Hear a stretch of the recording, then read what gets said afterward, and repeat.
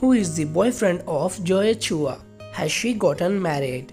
There are many rumors about her love life. Joey Chua is a Malaysian girl who was born in 1994. With her sweet looks, she is loved by many viewers. She is a singer or an actress. In 2020, she participated in Youth With You Season 2 and gained more attention.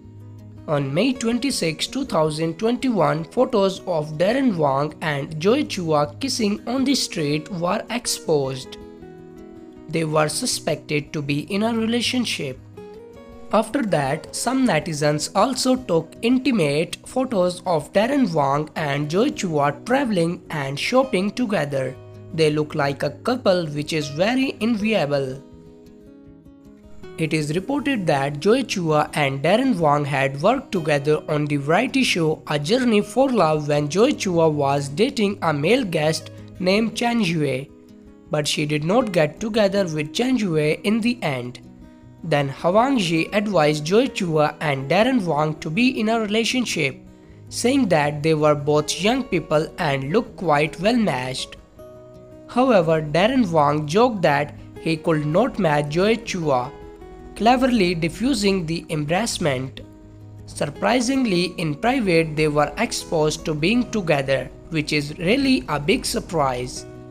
But with all the hot discussion amongst netizens, Darren Wang and Joey Chua still have not admitted it, although they did not come out to respond. Most netizens believe that Darren Wang is the current boyfriend of Joey Chua. Joey Chua actually had a 3 years long marriage early on. During the time she participated in Youth With You season, there were many rumors about her divorce such as fake divorce, getting married because of children, etc. Her divorce was not formally announced to the public and Joey ex-husband has always liked her. They have actually been in a contact and interaction. So what do you think guys about this all topic? Let me know in the comment section down below. So see you in the next video. Keep supporting. Bye bye. Thank you so much for watching.